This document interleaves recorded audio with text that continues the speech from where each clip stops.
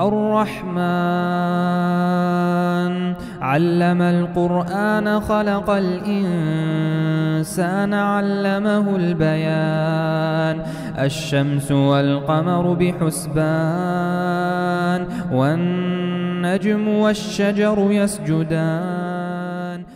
Assalamu alaikum, my friends. Welcome back to another episode of the Revelation audio experience. Can you feel the excitement in my voice today? Oh, I'm excited. I'm Meraj Mohiuddin. Today we're talking about the story of Revelation. And for those of you who have uh, had the patience to bear with me, we have made it through the prologue. So we've talked about everything that we could possibly talk about in a concise way, building up to the first revelations in the Quran.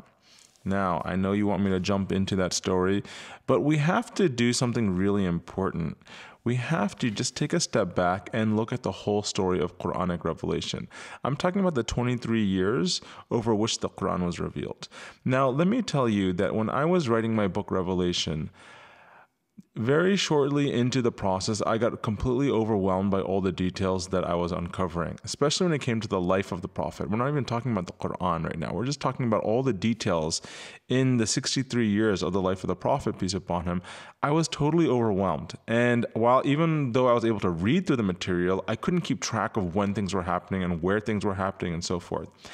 And so, what I did uh, about seven years into my journey is I just stopped all of my research and I decided that I need to come up with some kind of schematic that would allow me to remember all the major events in the Prophet's life, peace upon him, and come up with this schematic that would forever from then on out allow me to just always remember where things were so I could always place things in their proper um, location and not get confused anymore. And it took me three weeks to come up with this. And what I'm talking about, for those of you who have the Revelation book, this is probably I I think one of the coolest parts of the entire book, and it's the thing that I take away and hold on to most from this entire 15 year experience that I had writing the book, and that is the Quran year timeline. So the Quran year timeline, for those of you who are not familiar with it, it's kind of like the flux capacitor. Does that name sound familiar? Take a listen to this excerpt, and it might jog your memory. I was standing on the edge of my toilet hanging a clock. The porcelain was wet. I slipped, hit my head on the edge of the sink. And when I came to, I had a revelation. A vision. A picture in my head. A picture of this. This is what makes time travel possible. The flux capacitor. Flux capacitor. So, for those of you who remember the movie Back to the Future with Michael J. Fox, the DeLorean time machine had this really cool machine in the center console, which was called the flux capacitor. And this thing was basically the thing that kind of powered the car and enabled it to travel through time and go to any destination at any point. In the same way, to me, the Quran year timeline that I developed is the flux capacitor of Revelation, my book. It allows you to know everything that's happening in every single time period without getting lost too much in those details. It's this overarching timeline that allows you to see the themes of Revelation, the themes of the Quran, and match it to exactly what was going on the ground in the life of the Prophet Muhammad, peace upon him. So, in this episode, what I want to do is I want to go through that Quran year timeline and explain to you how you can own that for yourself and hold on to that for the rest of your life. For those of you who are already very familiar with it, you know that this is an introduction of the Revelation book, and the entire book is structured around the Quran year timeline. And so you're very familiar with that. Feel free to jump past this episode into the next episode where we start with Quran year one and talk about the first revelation. But for the remainder of you, who I would imagine there's a lot of you out there who are not familiar with this, get ready to have your mind blown. Okay, so what I need you to do is just take out a piece of paper and a pencil or a pen or a crayon or a marker, whatever you want, but have one blank, clean sheet of paper in front of you. Noah, you need to go get that piece of paper. Okay, let me know when you're done. Okay, here we go. You have that paper in front of you and get a pen. And for those of you who actually know this, I would recommend you do this also because it'll refresh your memory. So what I want you to do now is take that paper and just put it in front of you vertically, like a regular piece of paper, notebook paper. And at the very top of the page, I want you to draw a line across the top of the page. That line is going to represent a timeline of the life of the Prophet Muhammad, peace be upon him. So on the on the left side of the line, I want you to write zero That's the moment he was born. And all the way at the far right side of that line, I want you to write 63 because he lived for roughly 63 years. So that line is the timeline of the Prophet Muhammad, peace upon him. Now, in that timeline, we already know from the previous episode that for the first 40 years, he was Muhammad ibn Abdullah. He had not received the first revelation. He was not a prophet yet. So from 0 to 40, so let's just say that's roughly two thirds of that line. I want you to make a, a, a hash mark there, uh, a dash, uh, like cross that line and write 40.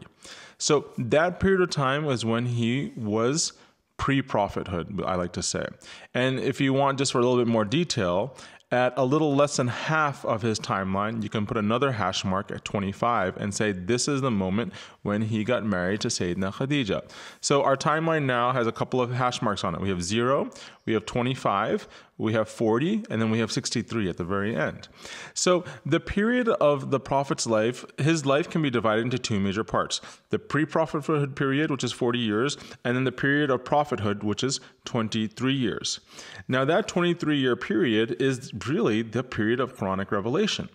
Now, what we do know from the life of the Prophet Muhammad, peace be upon him, is that for most of his life, he lived in the city of Mecca. And he lived there until the persecution against him was so difficult because of his calling towards monotheism that he finally had to escape and go to Medina. And that moment is called the Hijrah. Now, the Prophet Muhammad, peace upon him, made the Hijrah when he was roughly 53 years old. So, what I want you to do now is make a line that's pretty much halfway between 40 and 63 okay? And make that line. It doesn't have to be exact. We're just kind of getting a general scheme. And write 53 and then write Hijrah next to that. So now we're seeing some major moments in the Prophet's life. What we can see from this chart is that he spent 53 years in Mecca and only about 11 years in Medina. So this is a rough timeline of the prophet's life, and this is what I was staring at for like over a week, trying to figure out how am I going to now start adding all the other events. So you know the ban years, and when he went to uh, when he sent people to Abyssinia, and then also when you know certain revelations came down. When was the Treaty of Hudaybiyah, the battles of Badr and Uhud, and Khaybar, and all of these events. How am I going to understand this and remember it? And so what I came up with is a circular timeline. And this will make sense to you in just a second. So, what I want you to do now on this page, now that we have that timeline at the top, and you understand that those 23 years are the period of the Quran, we're going to do a specific map called the Quran year timeline, which is basically a timeline of only those 23 years. So, what you're going to do is, I want you to grab something circular. If you're in your kitchen or at your desk or so forth, grab like a small, like, um, a plate or like a bowl or something that fits nicely on this piece of paper in the middle of the page. And I want you to trace that so you have a nice clean circle in the middle of the page. Okay, so now that we have the circle, what I want you to do is I want you to cut this into four pieces. Imagine it's just a pizza in front of you. So you're going to draw a line down through the middle of the pizza vertically, and then you're going to draw a line across horizontally. So you've just cut it into four quadrants and make sure that the lines that you draw extend past the circle um, so that it just extends on all directions. Now, what I want you to do is imagine that this is a clock.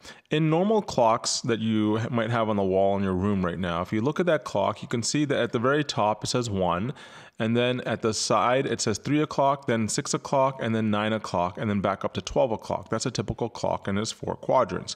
Well, imagine that this is a 24 hour clock. So, in order to make it a 24 hour clock, we have to change the numbers a little bit. So looking at this circle, we are going to now from here on out refer to these four quadrants as one, two, three, and four. The first quadrant is in the upper right. The second quadrant is in the uh, lower right, the third quadrant is in the lower left, and the fourth quadrant is in the upper left. These are the four quadrants of this uh, timeline that we are creating.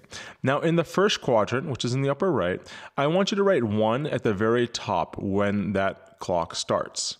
And that's going to go from one all the way down to hour six. So I want you to write a six right above the line in the first quadrant by the edge of the circle. Now, in the second quadrant, I want you to write a seven under the line, just below the 6, and that will go all the way to 12, which will be just before the bottom line. Then next to that 12, I want you to write a 13, which is the beginning of the third quadrant, and that will go all the way up to 18. And then above the 18, above that line, I want you to write a 19, and that should go all the way to 24, which brings you back up to the top of the circle. So now what we have here is we have a clock, okay? But this clock, like we said, is not hours, it's years. And each quadrant is six years. Quadrant one is one through six, quadrant two is seven through 12, quadrant three is 13 through 18, and quadrant four is 19 through 24. Okay, so these, this right here is a timeline of the 23 years of Quranic revelation. Now, what we need to do next is you have to remember the rule of the four H's. And this is actually very simple, okay? Four H's involved that will help break this clock into its major components. So, what you need to do is you need to write four H's in very specific places. The first H will just go outside of the clock right above the number one that you wrote inside the clock, okay? So, that H is at year one. The next H will go outside of the clock. All these H's will be outside the clock, will be outside of the clock above the line right next to year six. The third H will go outside of the clock just under the number 13.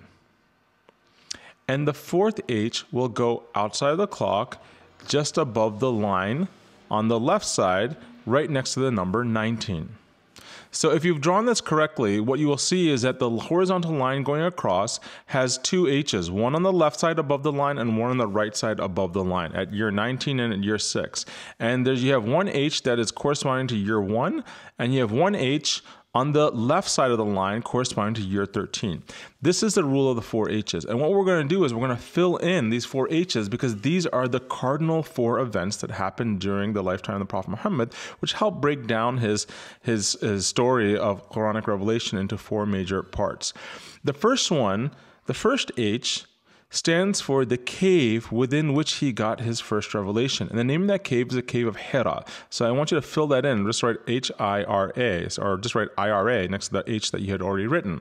That is where he received his first revelation. And that moment kicked off the timeline of Quranic revelation. Now, the next age that I want you to write is the one at the very bottom at year 13. Like I said, he lived roughly half of the period of Quranic revelation in Mecca until he had to escape to Medina, and that's known as the Hijrah. So I want you to finish out writing Hijrah using that age at year 13. Once that's done, what you see is that we have now created a basic schematic. On the right side of the circle, so quadrants one and two, they now represent the Meccan years, the period of time from year one all the way down to 13 where he was living in Mecca. Quadrants 3 and 4 represent the Medinan period. So that's a period of time where he was from year 13 all the way up to the top 24 where he was in Medina. Now remember I told you the period of Quranic revelation was 23 years, not 24. Right now we have 24 years represented. So what I want you to do is just kind of make a hash mark about one uh, unit less than 24 and write 23 there. And that actually is more true to the actual timeline. So here what we're doing is we're creating a 23 year timeline. And you already know now, just based on this little thing, you'll always remember that the Meccan period is slightly longer than the Medinan period, but for the most part, it's almost 50 50 in how much time he spent in each place. Now what we're going to do is fill in the other two H's. So the next H, which is the one at the six o'clock position, and it's above the line, I want you to write an, uh, two names. And let me just set this up for you. When the Prophet Muhammad, peace upon him, was in Mecca and he started his revelation, he got a lot of oppression right away, a lot of a lot of blowback, a lot of confrontation, and so forth. And it was so bad that he he made a prayer to God saying, I wish that I could just have certain people on my side who are really strong. That would, if I had their support, it would kind of just get everyone to back off. Okay. And he actually got exactly what he prayed for. And he got the help of two people who converted to Islam in the Meccan period. And when they came, it brought on a whole new period of strength for the Prophet, peace be upon him, during the Meccan period. And the two people who came to Islam are people by the name of Hamza and Omar. So that H right there at the six o'clock position above the line, I want you to fill uh, the rest of that in and write Hamza, H A M Z A, and Omar, U M A R. So these two people converted in year six, and when they converted, it ushered in the second quadrant, the period, the late Meccan period. So, what is the other H, the final H that we did? Well, the final H, let me explain to you, is that when the Prophet Muhammad, peace be upon him, migrated to Medina in that third quadrant, he got attacked relentlessly by the Meccans who would not just let him be. They came up from Mecca to Medina and continued to attack the Muslims, and it was just unbearable. It was just this constant annual fight until finally they the Meccans realized that they really can't defeat the Prophet Muhammad and they were getting too worn out by all of these battles. And so the Prophet Muhammad met with the Meccan leadership that was left surviving and they came up with a treaty called the Treaty of Hudaybiyah. And so what I want you to write next to that H in 19 is Hudaybiyah, H U D A Y I B A H, Hudaybiyah. Hudaybiyah is a famous treaty that ended the period of fighting of the third quadrant and it ushered in a period of peace where Islam could spread and grow and be established in the land, and that is the fourth quadrant. So, let's take a step back and look at what you guys have drawn because this for you I think it's going to be incredible for you to start understanding this. What we see here is that the period of Quranic revelation is a 23 year period. And that 23 year period can be broken into four main quadrants. Each one is six years, six years, six years, and five years. The first six year quadrant is the early Meccan period. It began with the Hijrah and it ended in year six with the conversion of Hamza and Omar. That period of time was a time that was marked by a lot of intense opposition against the Prophet Muhammad and a lot of individualized personal attacks against people who are following the Prophet, peace upon him, and against the Prophet himself. What happened is in year six, when Hamza and Omar converted, it brought a level of strength to the Muslim community. The Quraysh who were antagonizing the Muslims realized that they can't just pick off individuals because there's too much strength there. So what we have to do now is just attack the entire group as one solid and mass block. And what they did is they actually persecuted the entire group. They actually banished them outside of Mecca in a hope to weaken them so that they would give up on the prophet's message, peace be upon him. So if week if quadrant 1 is a period of individual persecution, what we see in quadrant 2 is the late Meccan period it's six years of organized persecution against all of the Muslims who are following the Prophet Muhammad, peace be upon him. So, quadrant one, late, early Meccan period, six years. Quadrant two, late Meccan period, another six years. Now, it got so bad that organized persecution that we know now that in year 13, the Prophet Muhammad and all of his companions fled, they escaped, they migrated to the city of Yathrib, which later came to be known as Medina. And this ushers in the third six year quadrant, which is the early Medinan period. The early Medinan period is um, best remembered for all of the battles. This is a period where you have the Battle of Badr, the Battle of Uhud, the second uh, attempted meetup at Badr. You have the Battle of the Trench, all the warfare, the major stuff that's going on, the major battles that are in the Quran and so forth happen in this third quadrant, the early Meccan period. Luckily, a lot of that fighting comes to an end because the two parties signed the Treaty of Hudaybiyah, which we know happened in the 19th year.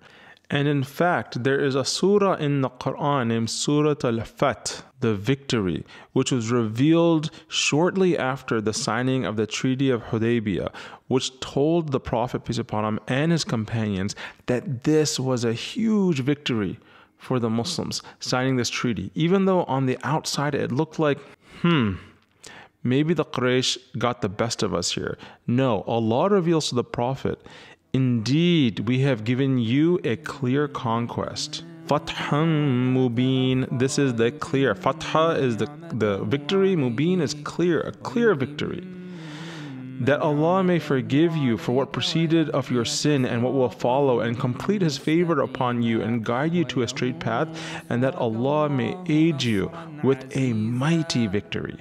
إنا فتحنا لك فتحا مبينا ليغفر لك الله ما تقدم من ذنبك وما تأخر ويتم نعمته عليك ويتم نعمته عليك ويهديك صراطا مستقيما وينصرك الله نصرا عزيزا This was a huge, huge win for the Prophet Muhammad, peace be upon him. And these verses were incredibly beloved to him and beloved to the companions. After 18 years of all of the trial and tribulation that they faced, Allah is now telling them, here is your victory. And so the Treaty of Hudaybiyah happened, and that brought in a period of peace and prosperity to the Muslims in Medina, and it ultimately allowed them to establish Islam in the land. And that is the final quadrant, which is only five years, because remember, it goes up to year 23, and that is the late Medinan period. So, how exciting is this, guys? How many of you understood the entire Sirah in this broad overview of this is what's happened, this is what's going to happen, and now you'll never get lost because you know exactly what's going on in each quadrant. You know the four major events that happened, and now you can start adding more details to this chart. Now, the question is this should we fill out the rest of the chart today, or should we wait for the next episode? Hmm. So, as much as I want to finish this today, I'm always concerned that I need to keep these episodes as short as possible. So, uh, all of you don't feel intimidated when you see a 40 minute uh, podcast session. So, what we will do in the next episode is we are going to fill out the 23 major events that happened in the life of the Prophet Muhammad, peace upon him. Now, here's the good news you already know four of them, the four H's. So, we only have 19 more to go. I have mnemonics for every single one. My plan, and I know this can happen because I've seen seven year olds do this, is that by the end of the next session, you guys will know 23 of some of the most important events that happened in the Prophet's life. And if you know this, this, I think, God willing, will set you up for incredible success when it comes to remembering, mastering the life of the Prophet Muhammad, and even more importantly, understanding the Quran in its revealed order and all the themes as they build sequentially. Because remember what we're up to. Like Sal Khan said in the first episode, we are learning for mastery and we are learning for transformation. So, anyway, if this is helpful for you, please let me know in the comments if this is working for you. I love reading your comments. I am so excited for the next episode. We're going to fly through that. You're going to master this material inside out, and it's going to be a new you after that. So feel free to share, like, subscribe if you think other people might benefit from this. If you think the way I think and this is helpful for you, uh, feel free to let, let me know in the comments. And, and, Next episode is going to be even more exciting than this one because we're going to jump into finishing out what we are creating, which is the Quran Year timeline. I will see you guys soon. Take care. Assalamu alaikum.